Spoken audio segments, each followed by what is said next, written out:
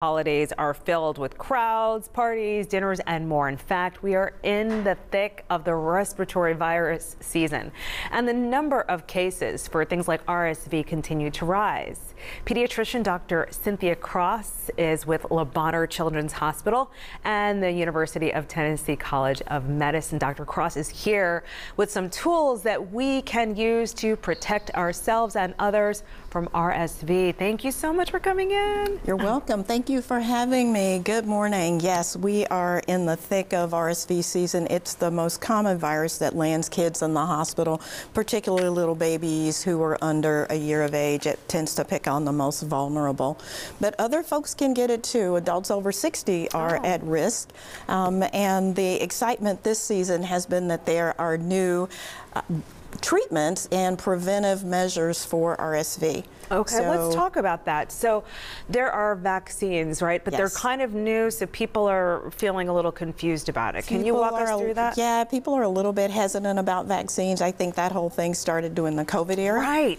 And these vaccines are safe. There's one for adults over 60. I've gotten that one already. Okay. Um, there is one for pregnant women uh, between 32 and 36 weeks during the RSV season. RSV season is typically thought of as September through January.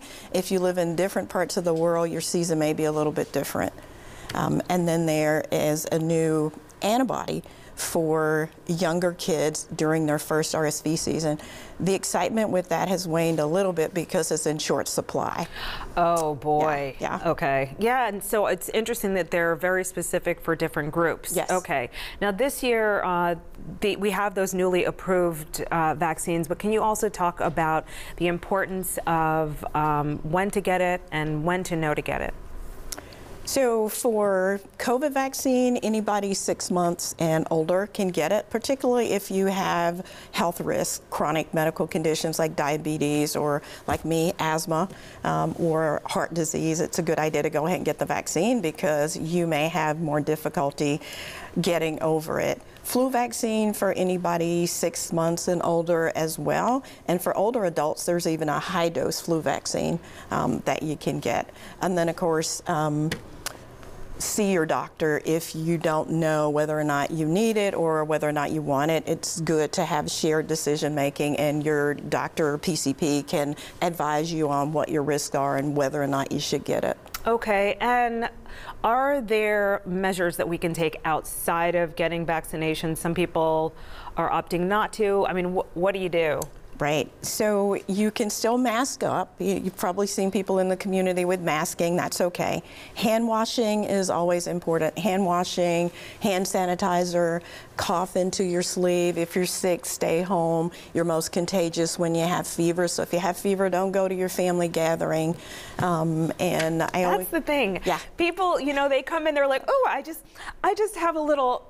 I don't know, my sinuses are messed up, my allergies. And you're like, are Uh-huh. you sure it's allergies? That's right, because I don't know exactly. And if you're in a place that, say, uses joint equipment like keyboards, Right. Mm. wipe down your keyboard, wipe down your phone, um, because you can get RSV from contacting surfaces. So Okay, so that's the thing. It's surfaces as opposed to the it can airborne. be airborne okay. or surfaces. Okay. Uh-huh, yeah, and um, keep your hands away from your face. You know how your mom used to tell you to Yeah. keep your hands away from your face? That actually does help because you have your mucous membranes, and if you contact them with something that had the virus on it, you can get it that way, or you rub your eyes. This is such good information. Okay, so I love what we did here. Uh, we know that you're going to be coming in with us monthly, so we put some questions um, we posed to people out in the community on our Facebook page to. Um, Pose questions to Dr. Cross here. And so um, this one was a good one. Okay, we asked those parents those questions. One mom asks, Am I overreacting by bringing in my baby in for a virus? Kelsey says uh, their noses get stuffy and their breathing sounds harder almost with every cold. I know to look for retractions. You're going to explain what that is. Yes. But will I know when I see it? And then there, this is like three parts, so I'm going to ask that part. So retractions and will I know when I see it? Retractions are when your baby is having more trouble breathing and they certain areas of the body or chest start to sink in. So above the rib cage kind of sinks in, below the rib cage kind of sinks in.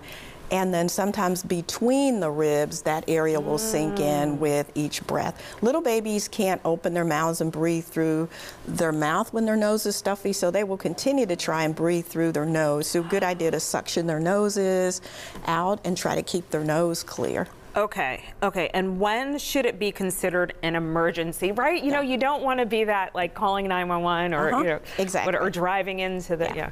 Certainly, any baby who has blue discoloration around their mouth or even pallor, to me, that's a medical emergency. If your baby is not waking up, it's like, you know, they've been sick for a couple days, now I just can't get them awake. It is better safe than sorry to go ahead and get your baby seen. If you're kind of on the fence, most providers have an on call number, an on call nurse, and you can call that number to find out. But if you're in doubt, if your baby looks critically ill to you, better safe than sorry, get them checked out sooner than later. And the younger they are, the more problematic it is. A baby under a month of age with a temperature of just 100.4 can be seriously ill, and those babies can also be seriously ill without fever, even. Sometimes the body temperature is lower. Wow, this is Yeah. incredible information. I can't wait till next month. So we're going to have to talk about what we will talk about in January. Dr. Cynthia Cross, thank you so much for answering all these questions for our viewers out there. Absolutely, my pleasure. All right, coming up on Live at 9.